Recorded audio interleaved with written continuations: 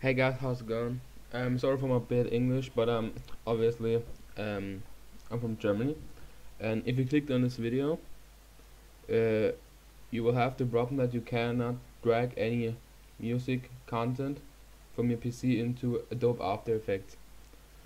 Um, I will surely demonstrate you. Uh, let's pick yeah this, and I'm gonna drag it from the folder where it is into Adobe After Effects and you will see.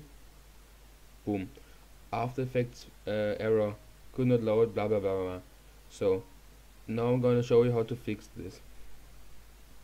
Um, there are a lot of tutorials how to fix this on the internet but none of them really worked out for me.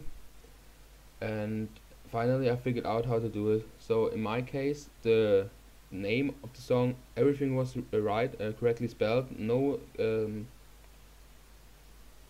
certain things. So it's every, everything's right spelled. In my case it was the folder uh, that it was installed in. Yeah you can see yeah.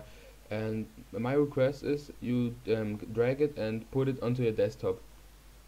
So now you can um, take it from your desktop into Adobe After Effects and boom there it is.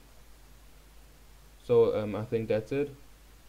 If you have any problems I don't have another solution I hope I helped you. Thanks.